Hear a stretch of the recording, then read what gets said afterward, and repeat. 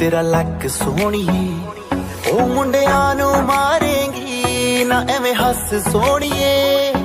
ਕਿਹੜਾ ਪਿੰਡ, ਸ਼ਹਿਰ ਤੇਰਾ, ਤੂੰ ਮੈਨੂੰ ਦੱਸ ਸੋਹਣੀਏ ਉਹ ਲੱਗਦੀ ਉਹ ਲੱਗਦੀ ਲਾਹੌਰ ਦੀ ਆ, ਜਿਸ ਹਿਸਾਬ ਨਾਲ ਹੱਸਦੀ ਆ, ਉਹ ਲੱਗਦੀ ਪੰਜਾਬ ਦੀ ਆ। ਜਿਸ ਹਿਸਾਬ ਨਾਲ ਤੱਕਦੀ ਆ, ਕੁੜੀ